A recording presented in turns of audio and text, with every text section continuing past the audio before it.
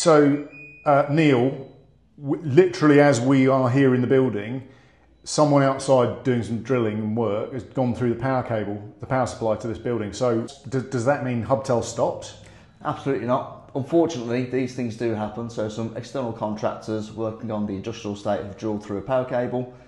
Uh, the whole power to the site has gone down, but we've got a disaster recovery plan, which means that we can send our staff home now to work from home.